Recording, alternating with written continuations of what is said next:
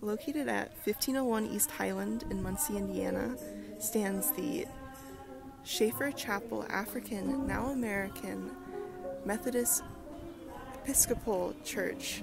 And located on the left side of the main entrance is the historical marker.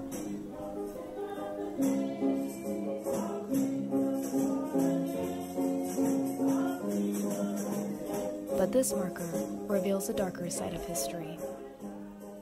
It states structure circa 1893 is Muncie's oldest standing public school building, purchased by church congregation circa 1928, rallying point in August 1930 when bodies of two African American men lynched in Marion were brought to Muncie for embalmment by church's pastor J. E. Johnson, a mortician.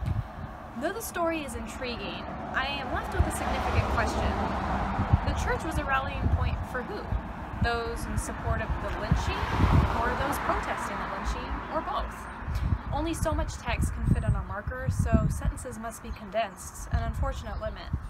Additionally, text is literally and metaphorically two-dimensional. I cannot see, smell, taste, or touch any remnants of this history, nor can I completely trust this marker without any primary sources.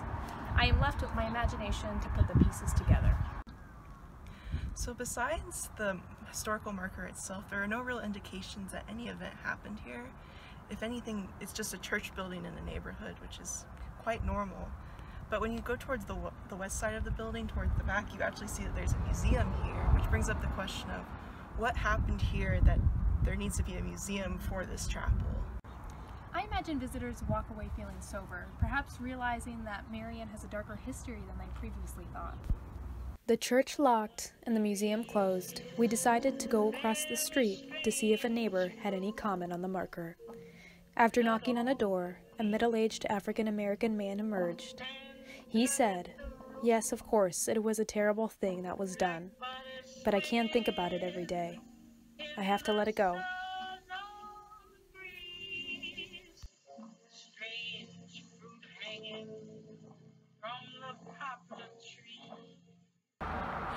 If I were to add any visuals to this marker, I'd want to personify these men that lost their lives.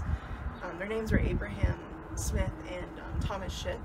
So I think erecting either memorials for them or having their pictures would be important to making this less detached. Also, having a picture of the lynching from Marion, as it's a very popular postcard image, would also bring more context to what happened.